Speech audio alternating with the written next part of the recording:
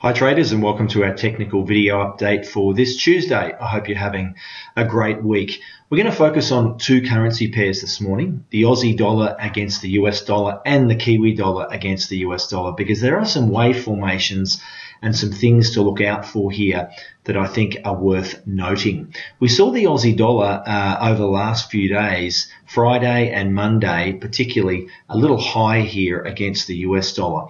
And what we've seen here through the course of early September and towards the middle of September is the Aussie dollar came down here and made a monthly low down here on around about what was this date here? This was the uh, 13th of September. What we've seen then is the Aussie dollar move higher on the back of higher commodity prices and some weakness into the US dollar leading into the Fed statement this coming Thursday. This very deep low here on the awesome oscillator, at this point in time, we must consider this to be wave number three. This move back up here with this zigzag formation is wave number four. And interesting here, we've seen wave number four come up and hit its head on the 200 EMA on the four hour chart. We've got our 50 below the 200, which we need to be looking for any short positions. So I would anticipate at this point in time, based on the four hour chart, if we see consecutive closes underneath this 50 uh, EMA here, then we may be about to move back lower into wave number five. Now, if I use an Fibonacci expansion ruler here, what we're going to see is this Fibonacci expansion rule is going to show us a 61.8% level here, and this is at the pricing level of about 73.90, and then 100% expansion down at 72.80. So at this stage, if you were looking to short the Aussie dollar against the US dollar, I'm going to recommend you look at two things. First of all, I'm going to recommend that the Aussie dollar gets underneath this 50 EMA on the four hour chart. And also you keep a close eye also on the daily chart because the Aussie dollar right now is not trading underneath the 200 EMA on the daily. It's actually above and it's been sitting for the last week between the 50 and the 200 here. It's been range bound between the 50 and the 200 for the past week. Now, I would anticipate if we got a close on the daily chart underneath this 200 EMA with the formation we're seeing here on the four hour chart with a potential wave setup, I would anticipate that if we get a close on the daily, which would have to mean the price be down here, there's a very good chance in my book that we could see the Aussie dollar trade back down here to the 100% expansion. So keep an eye on that. Two things get the Aussie dollar underneath this 50 EMA first and make sure you're very well aware of this support level the Aussie dollar's been bouncing off, which is the 200 EMA here. But I do think with the formation we're seeing on the four hour chart and the likelihood later in the week, don't rush into this position. Consider that any follow through on any currency market this week is likely going to need the statement from the Fed the Bank of Japan to really get some follow through. So that might mean using perhaps a pending order down under these lows, which would be underneath where we are on the daily chart here. And then we may see that follow through back down to the 100% level. I'm anticipating the US dollar to gain strength between now and the end of the year.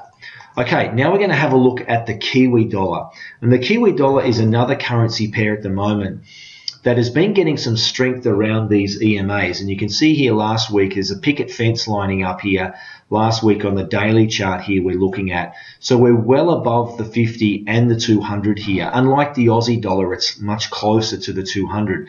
The Kiwi dollar against the US dollar is higher on these moving averages simply because of that yield that the, the Reserve Bank of New Zealand offers. So there's no particular wave formation here we need to concern ourselves with on the daily chart. Keep an eye on these two levels here. If we get underneath this 50 EMA on Thursday or Friday after the Fed statement, there's a reasonable chance we may trade back towards.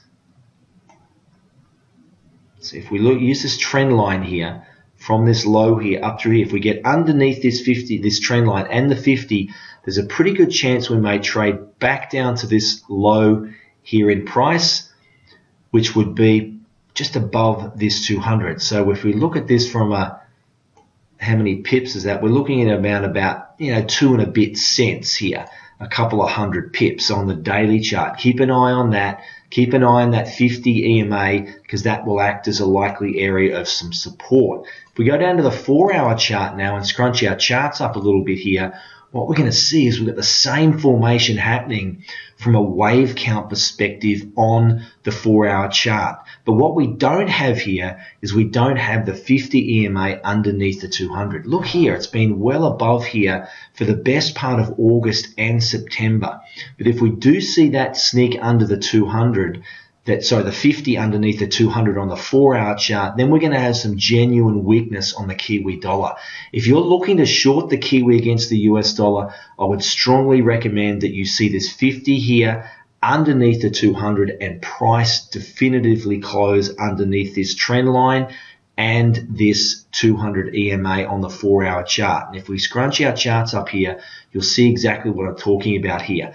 If we can get the price back under this level here, somewhere down around here, then we're likely going to see potentially some weakness back down to this low of 69.50. Now that again, I've got to continue to remind you this week is probably not going to happen unless we get some guidance from the Fed or the Bank of Japan and that will really get markets moving. So keep an eye on those levels on the Kiwi dollar against the US dollar and the Aussie dollar against the US dollar. In a Wednesday night's live training, we're going to be going over both of these currency pairs in detail. So make sure you join me for that seven o'clock tomorrow night. Until then, don't hesitate to watch this technical update again. If you've got any questions, make sure you contact us here at Go Markets. Have a great day.